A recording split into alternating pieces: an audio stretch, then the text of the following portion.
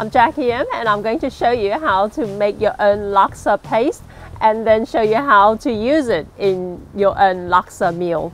Okay, why don't we get started?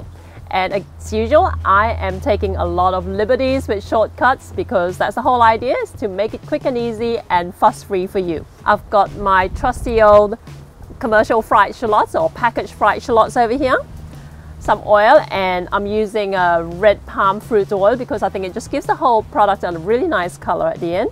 Some dried shrimp. Now this is something you're going to have to find at your Asian grocery store. I get the cheapest variety. You'll find they come in different sizes and different price ranges. This is a fairly cheap one, usually kept in the refrigerated section of your Asian grocery store.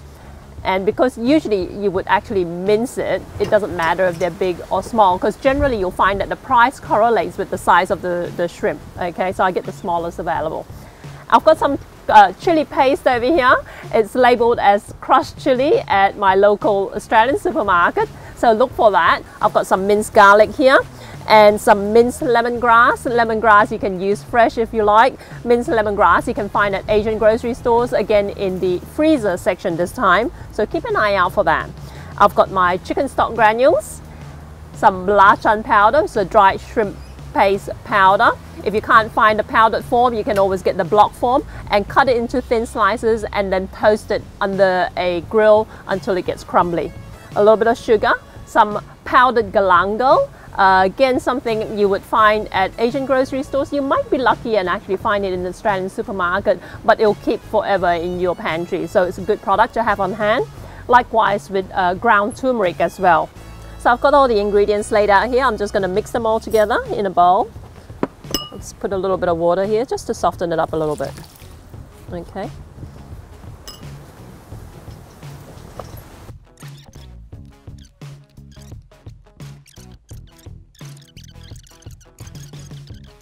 Okay, so we've got all these ingredients all mixed through in a bowl with a little bit of water. And now I'm just going to hop on over to the stove and heat up some oil and I'm going to fry this up.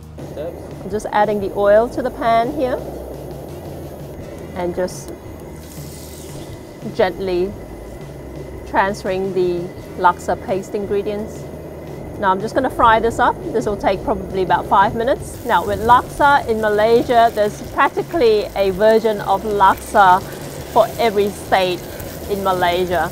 So if you find that this turns out a little bit different to what you remember from your last holiday over, the, over there, that will be why, okay?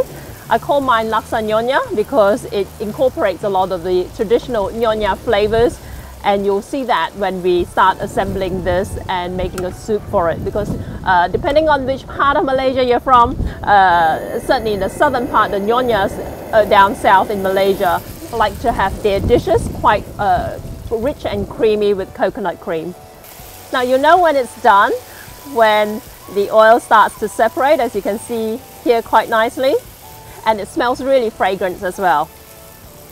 And what you can do with this, once it's ready, is you can store it in a jar and keep it in the fridge for weeks and weeks, if not months. Part of the characteristic of laksa is that you should have a nice layer of oil in your in your bowl of noodles. Okay, so I've just added a trickle of oil in this just to give it that nice glistening sheen. So there you go, we're all done and I'm just going to transfer it into a bowl so you can see what it looks like.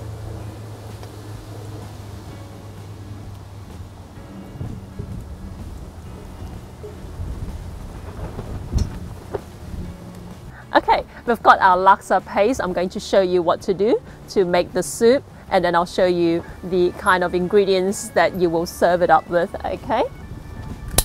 Just turning on the stove here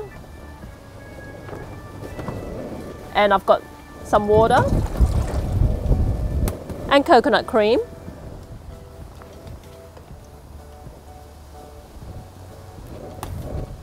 And to that, I'm going to add some laksa paste.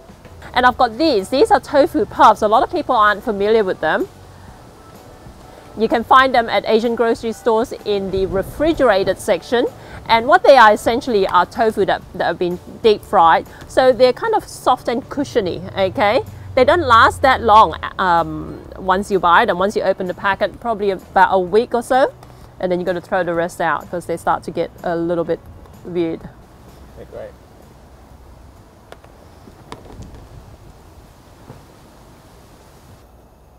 Now with my recipe, with my laksa paste recipe, I'm making soup enough for two and with my recipe you would want to use about half a cup of paste to three cups of water and one cup of coconut cream. And we're just going to let this come to a boil and your laksa soup is ready. Okay, let's talk about the ingredients that go into a laksa soup. Again, remember what I mentioned about the different variations of laksa in Malaysia? The kind of noodles that go into it is really entirely up to you. I am using uh, fresh rice noodles today, which is a little bit unusual. Traditionally, you know, your stock standard laksa in Malaysia, you would generally find that they use these rice sticks.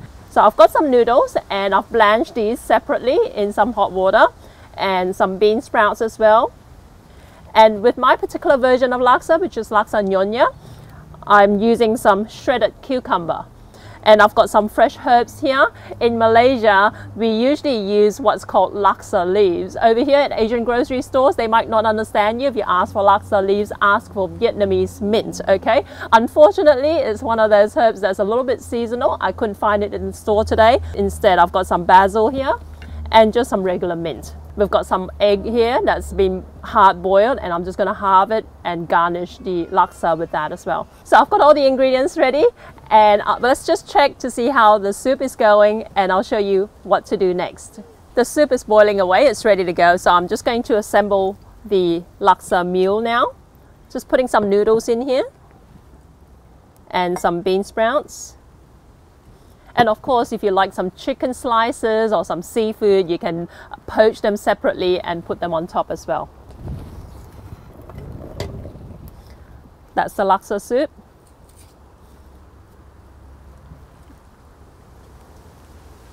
And I'm just going to ladle it over the noodles with the tofu. I've got the egg here, I'm just going to halve it put it in here.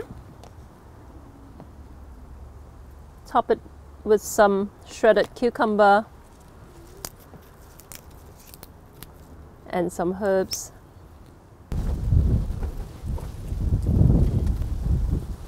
Perfect. Well, there you go. That's your laksa nyonya courtesy of Jackie M. You can see how quickly you can whip this up at home and you can keep it in your fridge and have laksa paste and have a laksa meal any night of the week.